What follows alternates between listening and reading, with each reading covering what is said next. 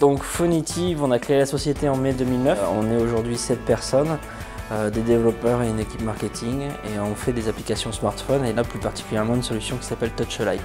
Alors Touch c'est une solution qui permet de rendre tactile n'importe quelle vidéo. Alors qu'est-ce qu'on entend par tactile? C'est de pouvoir toucher les objets euh, dans une vidéo pour les modifier, changer la couleur par exemple, pour pouvoir avoir des informations sur ce qu'on est en train de voir. Donc on, touche l'objet, on peut aller l'acheter, ou même incruster son contenu, donc mettre ses propres photos ou sa propre vidéo à l'intérieur d'une autre vidéo.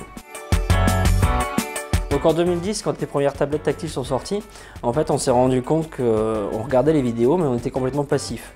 Les marques faisaient beaucoup de placements de produits sur les films mais on ne pouvait pas avoir des informations sur ce qu'on était en train de voir. Donc on s'est dit que ça serait quand même bien si vous pouvez toucher les objets.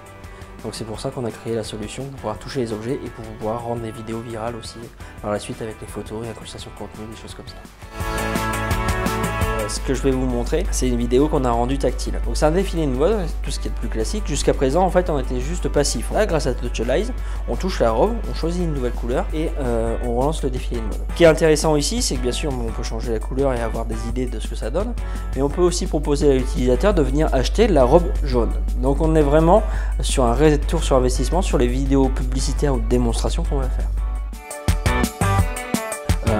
pour que les marques en fait soient sûres de l'efficacité de Touchalize et qu'on soit sûr d'avoir un, retour sur investissement, on vend le nombre de personnes qui vont regarder la vidéo et qui vont venir aussi par la suite interagir avec la vidéo.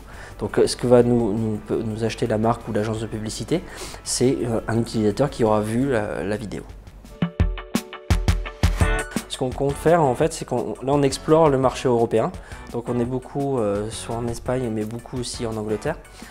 Et ce qu'on compte faire en fait par la suite, c'est ouvrir des bureaux, euh, que ce soit au Royaume-Uni ou après aux États-Unis, pour se rapprocher encore plus de nos clients et des grosses agences de publicité. Aujourd'hui, ce qui nous manque, c'est le support d'un grand compte qui nous permettrait en fait de commercialiser euh, la solution à plus grande échelle, mais aussi en fait des, partenariats avec des grosses plateformes de diffusion de vidéos qui nous permettraient en fait d'avoir de la visibilité sur la solution, que ce soit auprès des, agences et des marques, mais aussi du grand public euh, qui serait peu à peu éduqué à notre solution.